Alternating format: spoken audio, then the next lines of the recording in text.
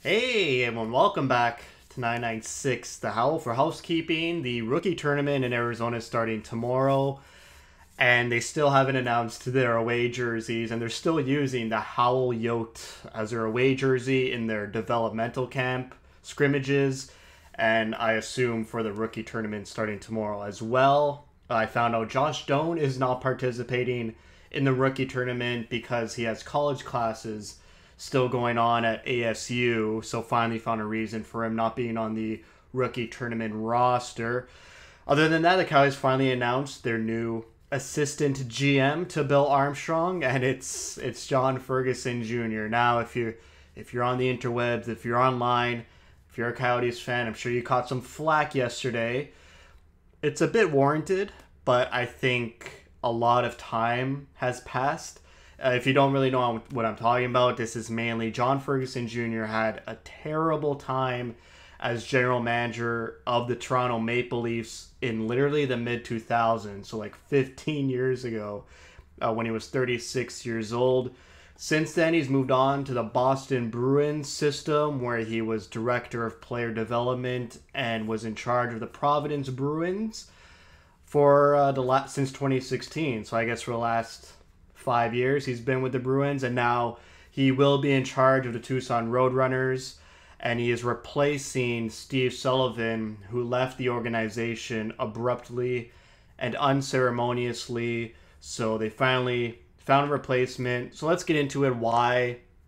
You know, the Toronto fan base, it's a loud group, it's a big group. So I'm sure they would dominate the conversation, or they do dominate the conversation whenever John Ferguson Jr.'s name pops up, it hasn't popped up much in the last five years. He's been quiet, which is good. But usually, when teams are hiring for GMs, his name might pop up. Not sure. I don't think he's ever interviewed for the Coyotes for their general manager manager position. But you know, whenever his name pops up, uh, Leafs fans just go into craze and say how he's the worst human being ever on planet Earth. So let's get into you know what make what made him a bad GM, and then we'll get into what he's been doing the past five years. So I found a website that has his top six worst moves. Some of them I don't agree with, uh, like number six, right here, signing Michael Peca to a one-year deal. This was a trend in the mid 2000s for the Leafs, just acquiring aged veterans like Ron Francis, Michael Peca. We'll talk about Brian Leetch in number five.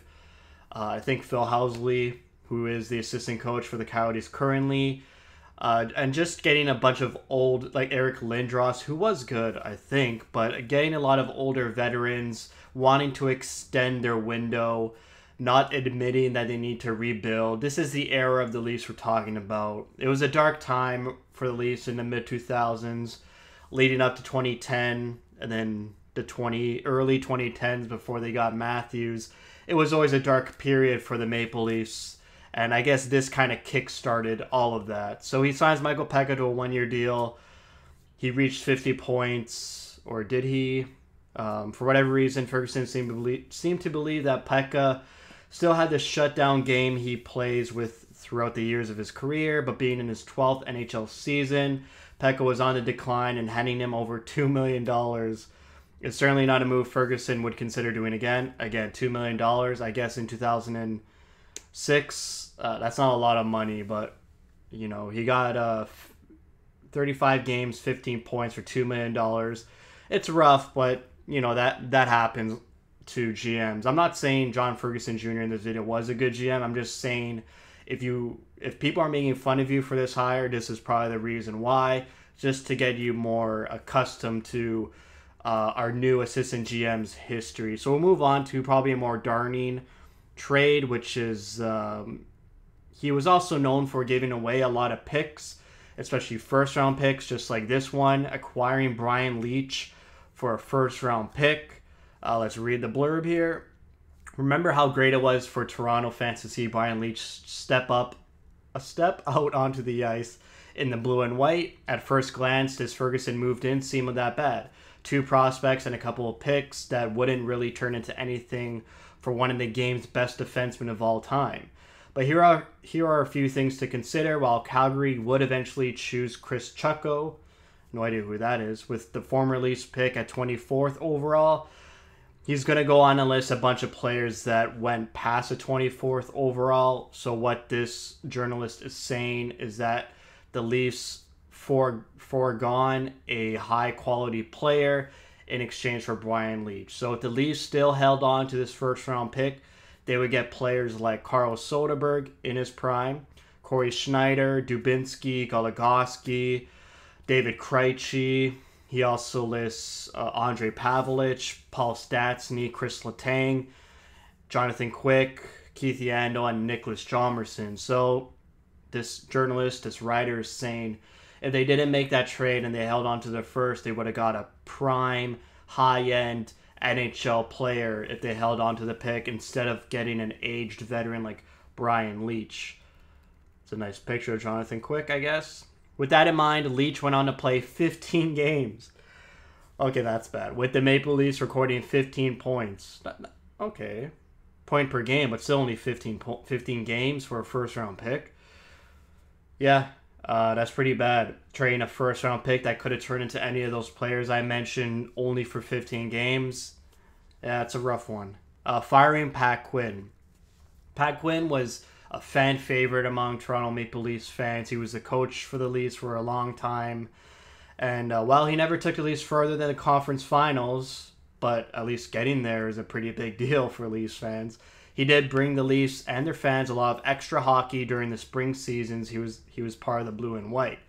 What makes it so much more questionable is that Quinn finished his career with 684 wins, leaving him six on the all time wins list. In his final season before he was fired, he led the Leafs to a 41 33 and 8 record, narrowly missing the playoffs with 90 points.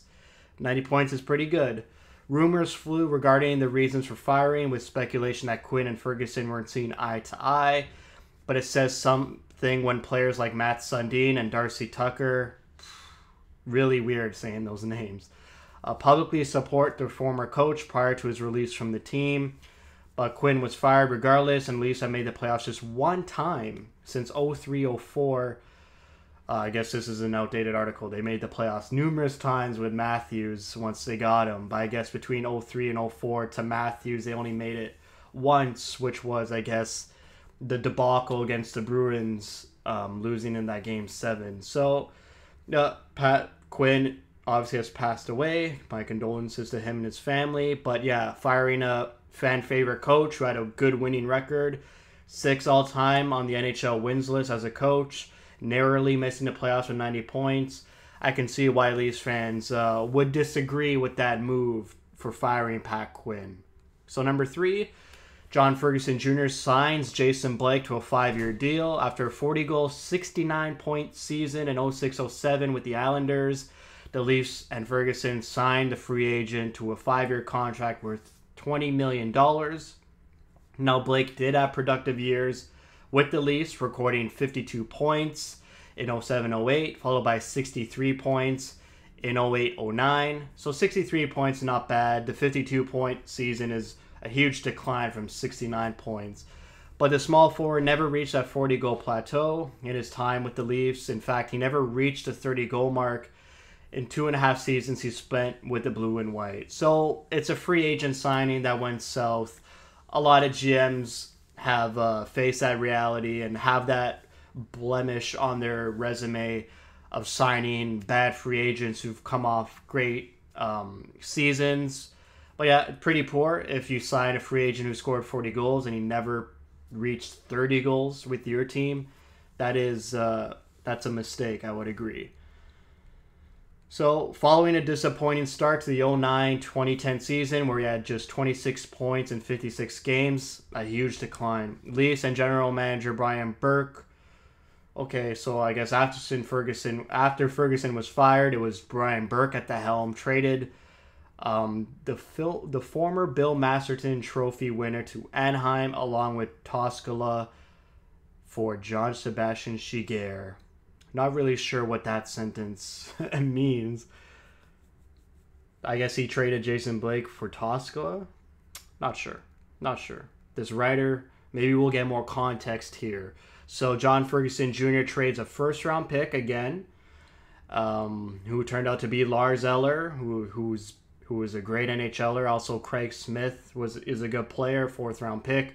To San Jose for Vesa Toskala and Mark Bell. Uh, Vesa Toskala had a rough career with the Leafs. He's most known for letting in a goal where the opposing team shot the puck from their own end of the ice and it bounces down the ice and over Toskala. That's that's a funny moment for Toskala being a Toronto Maple Leaf. So we'll read the blurb here.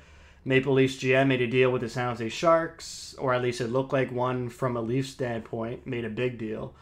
Ferguson moved two picks in the 07 draft, a first and second, and a fourth round pick in 09 in exchange for Toskala and Mark Bell.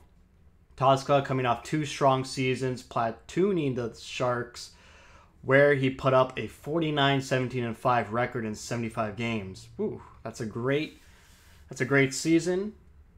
Uh, coming to Toronto, he was pegged as the number one, playing 119 games in his first two seasons with the Leafs. In his two and a half season with, seasons with the Leafs, his record was 62, 54, and 20. That's really bad. He had a goals against over three and a sub 900 save percentage. Poor backup style numbers right there. A huge cliff dive, a huge decline in Toskala's career. I liked him on the San Jose Sharks. You know, he was coming coming in after Nabokov or was a backup to Yevgeny Nabokov. And um, I remember his playoff series were always good. And then the Leafs acquired him and things went south. It seems to be a narrative with the Leafs in the mid 2000s uh, when they acquire players like like we mentioned, Jason Blake, Brian Leetch, now Toskala, players who had good careers on other teams come to the Leafs and they can't produce at the same standard that they're used to producing. So, what exactly did the Leafs give up? Uh, St. Louis would eventually use Toronto's pick to select Lars Eller ahead of guys like Shattenkirk, Pacioretty, Perron, and Brendan Smith. I don't know why you mentioned Brendan Smith there. St. Louis also got the Leafs' second round pick from the Sharks and took a player who didn't amount to much in 07. San Jose also moved the Leafs' fourth round pick in 09 to Nashville, where the Predators took Craig Smith. Craig Smith, who's now on Boston, who had a pretty good season playing alongside Krejci, and even the playoffs playing alongside Taylor Hall. So, but what could the Leafs have had with these picks had they held on to them? In 07, they would have had an opportunity to draft PK Subban who went 43rd overall. They could have scored Wayne Simmonds, which they ended up getting him anyways, who also didn't do much. Justin Falk, Martinez, Jamie Benn could have all been Leafs. So he's also once again saying if the Leafs hung on to those picks, there was high quality NHL players that they could have had instead of a disappointing, declining Vesa Toskala. So his number one worst move, the meme which I'm sure if you know who John Ferguson Jr. is, you know about this trade. This is the main reason why people make fun of him and why the Coyotes caught flack for hiring him as assistant general manager. So we'll read it finally. Easily one of the most memorable and memeable trades in recent years. Ferguson moved Tuukka Rask to the Boston Bruins in exchange for Andrew Raycroft. Raycroft was coming off a disappointing season with the Bruins but had just won the Calder Trophy as Rookie of the Year the previous season, where he won 29 of his 57 games with a 2.05 goals against average and 926 save percentage. I assume that was a pretty poor Calder class because uh, 29 wins gets you the Calder Trophy. I guess. The Leafs also had Justin Pogge coming off a great World Junior Championship where he took Canada to the gold medal he went undefeated in six games, giving up to six goals and recording three shootouts in the process. Very good. So surely he was the future of the Leafs organization. Pogge played just seven games for the Leafs and uh, his only seven games in the National Hockey League and recorded just one win. Uh, wow. Uh, he allowed 27 goals in those seven games. Raycroft would play four more seasons after his 91 games in a Leafs uniform before leaving the NHL and we all know who Tuukka Rask is. So those are six reasons why everyone likes to jump on and dogpile John Ferguson Jr. whenever his name comes up in the news. Let's see what he's been doing since he's gotten fired from the Leafs. So he went on in the late 2000s to early 2010s, being the director of professional scouting for the Sharks, and then moving on to the Boston Bruins system in 2014 2015, and then being promoted as a general manager of the Providence Bruins since 2016 2017 and finally, now he is the general manager for the Tucson Roadrunners. So, what have the Providence Bruins been doing since John Ferguson Jr. has been at the helm? Uh, let's go to Wikipedia for that. Pretty, pretty good. Uh, 43 is the wins column.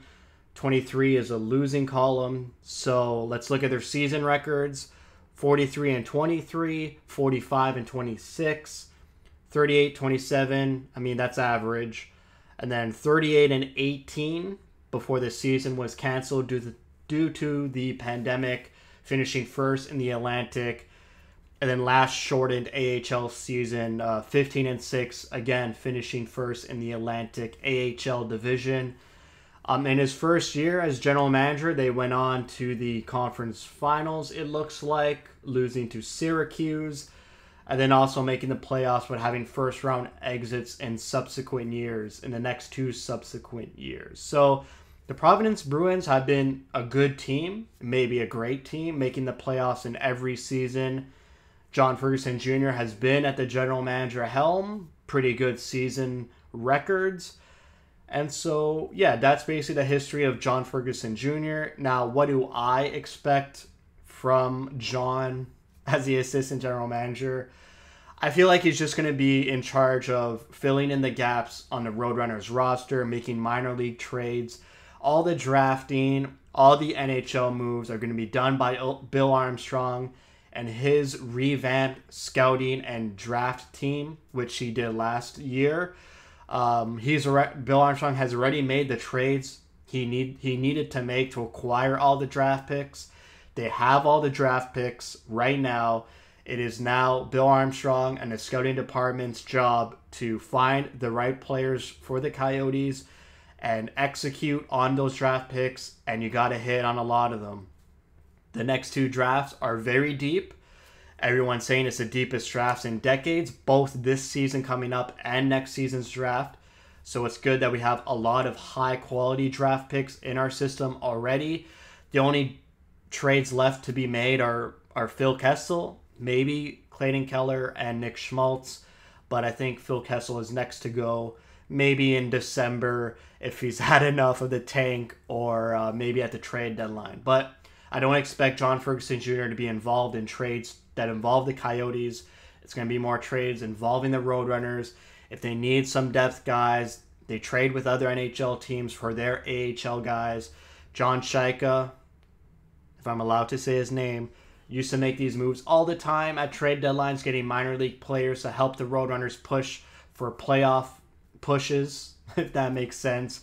So I don't expect John Ferguson Jr.'s hands too much in the Coyotes, but it's good to get a veteran, experienced professional who's been in the NHL for about 20 years now. With all his experience, he's been in a prime organization in the Boston Bruins. He knows what it takes to win and have a consistent playoff team who goes far, who reaches Stanley Cup finals and conference finals.